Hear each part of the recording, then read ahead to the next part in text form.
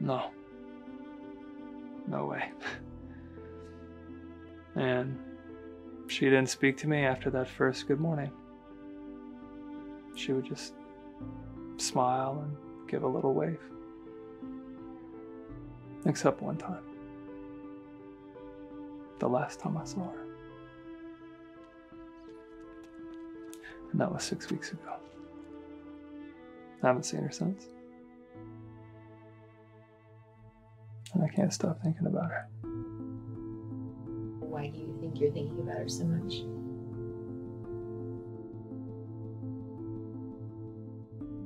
Because I'm tired of failing those I care about.